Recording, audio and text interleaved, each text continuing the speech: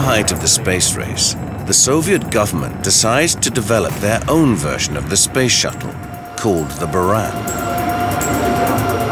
The only high-tech factories able to manufacture the Buran are in Moscow.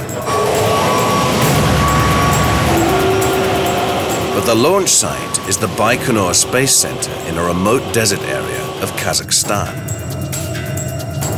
So engineers must find a way of transporting the space shuttle 2,000 kilometers. It's not really possible to move that type of aircraft by land, and the reason is that it is absolutely enormous. You couldn't get it under bridges, you couldn't get it down the, uh, the smaller roads. You also have to do it very slowly, and it would take an enormously long time. There's only one option, transport the shuttle by air. But even with the biggest cargo plane in the world, it's not going to be easy.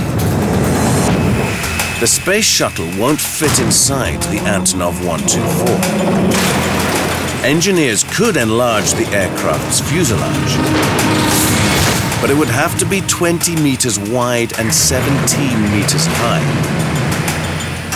With such a big fuselage, the plane would be too heavy to take off.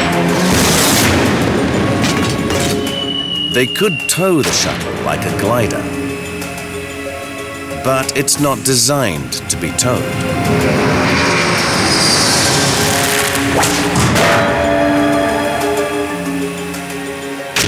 So instead, they decide to carry the Buran on top of the Antonov.